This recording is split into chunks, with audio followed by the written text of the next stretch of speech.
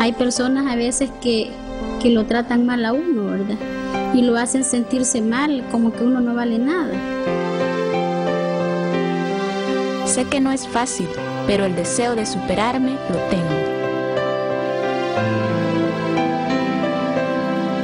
Destaca además la inversión de más de 100 millones de pesos en lo que será una gran obra, la gran obra denominada Ciudad de la Mujer, que se convertirá en un gran centro de atención y recuperación de las fortalezas de las mujeres campechanas.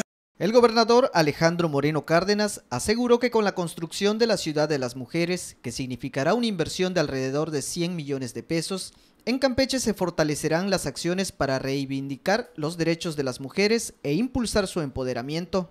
El jefe del Ejecutivo Estatal precisó que este proyecto fundamenta sus acciones en la atención especializada con base en la perspectiva de género, los derechos humanos y la integración cultural, además de que brindará una serie de servicios médicos educativos y asesoría jurídica, pero también la oportunidad de emprender sus propios negocios y se garantizará la atención de sus hijos con diversas actividades académicas, deportivas y psicológicas. Porque esta será una obra monumental para Campeche en el compromiso de apoyar, de respaldar, de cuidar, de proteger y de darle oportunidades a todas las mujeres de Campeche.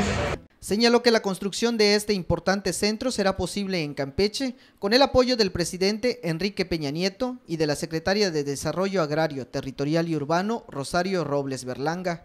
Además de que ratifica la voluntad que los gobiernos federal y estatal tienen con las mujeres, pues se tiene la convicción de que no solamente son el eje rector de toda comunidad y ejemplo de compromiso, esfuerzo y tenacidad, sino que tienen el pleno derecho de vivir libres de violencia y en igualdad de circunstancias y oportunidades que los hombres.